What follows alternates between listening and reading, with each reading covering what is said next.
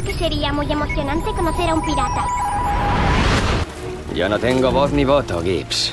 Mi vida es la de un pirata. ¿no? Yo haría hincapié en que los jóvenes nos hemos dado cuenta de que quienes toman las decisiones que afectan directamente a nuestro futuro no están sometidos a las votaciones, que nuestro sistema es realmente antidemocrático, cuando se están aplicando unos planes de ajuste que no ha votado nadie, ni siquiera iban en ningún programa electoral.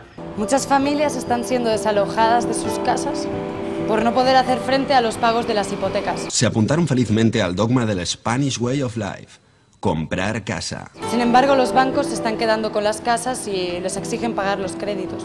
Quieren convertir la educación en negocio. Y nadie está hablando de eso. Nos están mirando en los ojos y tratan de decirnos que es que llueve.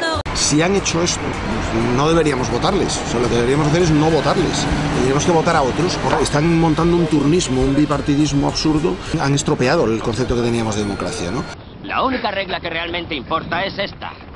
Lo que un hombre puede hacer y lo que no puede hacer.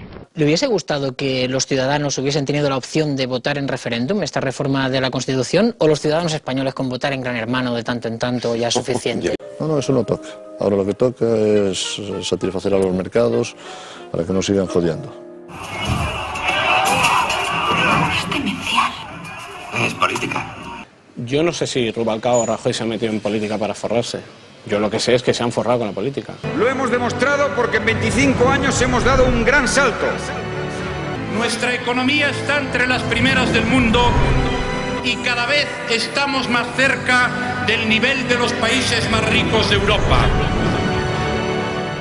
Y España construía en un año más vivienda que Francia, Alemania e Italia juntas. Hemos invertido mucho y hemos seleccionado mal las prioridades. No se piensa en la versión de largo plazo, ¿no? ¿Cuánta gente va a utilizar esta infraestructura? En esto no se piensa. Hay estaciones de alta velocidad que no son usadas. Si hubiera 100 provincias, pues tendríamos 100 aeropuertos. No se ha terminado nunca de saber para qué sirve esto.